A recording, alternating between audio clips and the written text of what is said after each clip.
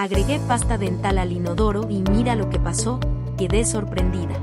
No creo que hayas visto esta técnica en ningún otro lugar, porque es un secreto de mi familia. Enloquecerás cuando lo conozcas. ¿Quieres aprender? Pues comencemos. No sé si eres como yo que me fascina dejar el inodoro limpio y oloroso. Así me siento más cómoda. Cuando está sucio y amarillento me siento molesta. Aquí en casa antes usábamos muchos productos para limpiar y cepillar el baño, porque siempre el retrete y el depósito se llenaban de sarro y acababan manchando el inodoro. Ese era un proceso que tenía que hacer todas las semanas.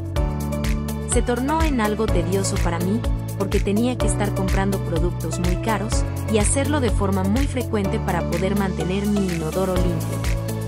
Luego descubrí este truco secreto y me encantó el resultado.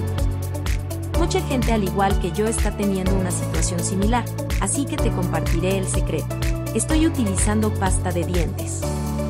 Quizás te suene raro, pero la pasta de dientes es antibacterias así que cada vez que descargues el inodoro, ella va a limpiar todas las bacterias que se quedan guardadas en el retrete.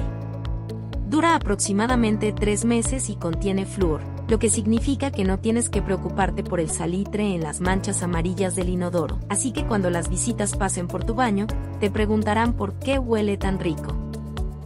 Lo primero que vamos a hacer es tomar una tijera y le cortamos una esquina a la pasta, luego cortamos el otro lado. Verifica que un lado esté más largo que el otro. Luego con un alfiler o una aguja le haremos hoyos en la parte del frente y detrás.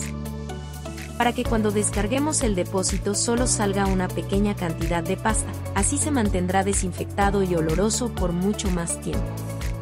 Puedes usar pasta de cualquier marca, siempre y cuando la pasta dental contenga flúor. Dime desde dónde ves mis trucos, para dejarte un saludo especial. El saludo de hoy va para Roland que nos mira desde Venezuela y Marina que nos mira desde Argentina. Gracias por ver y compartir mis trucos caseros.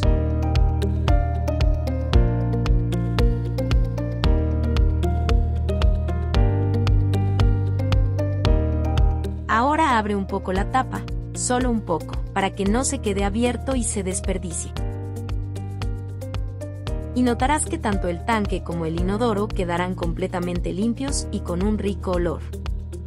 Gracias a la pasta mezclada con el agua.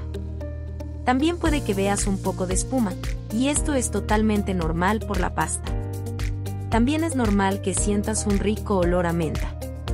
Mientras más dure la pasta en el tanque mejor será el olor y el resultado. Haciendo este truco ya no necesitarás comprar productos caros para limpiar tu inodoro y se mantendrá limpio y súper oloroso. Si llegaste hasta aquí déjame la frase, quiero mi baño limpio y oloroso, para saber que viste el video completo hasta el final.